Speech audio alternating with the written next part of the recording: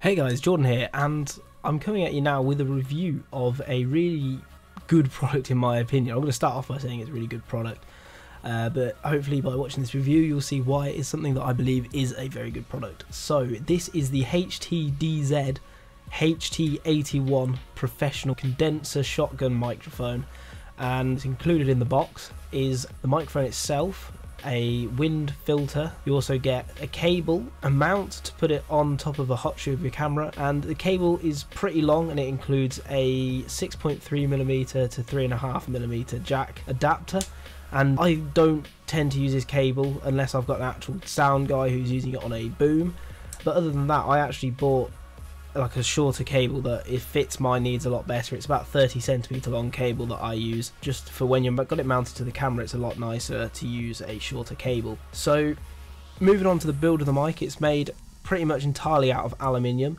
It does feel really, really sturdy, really, really high quality, and obviously you have that foam windshield that slips over the top.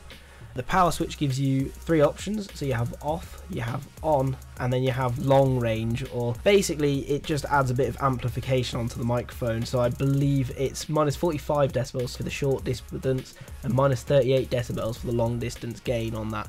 So it does sort of just really boost the signal going into the camera and uh, make it a bit louder. When you have to change the batteries in this, because this is a battery powered microphone, you have to change it by using AA batteries and it just takes one of these and you unscrew it, slot it in the back and it's nice and done. So this does tend to chew through batteries if you leave it on.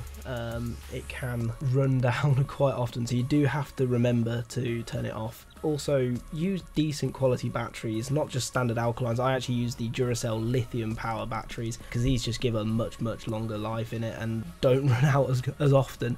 And if you are using a battery in it and the battery is a bit low, you do get a bit of a buzzing noise coming into the microphone, which is not fantastic. So it is always important to make sure you do have a well charged battery in there.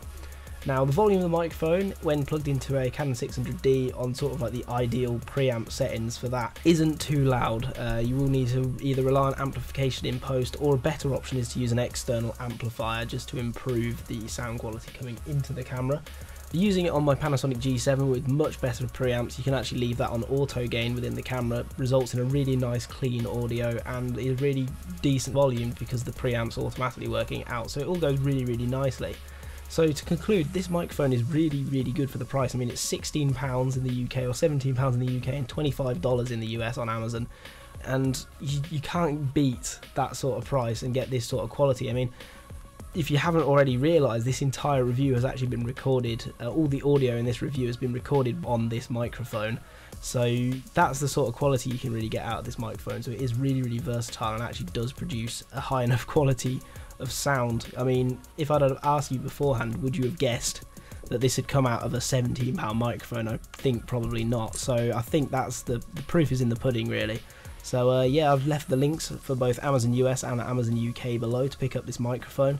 Thanks for watching. Please subscribe, rate, and comment, and goodbye.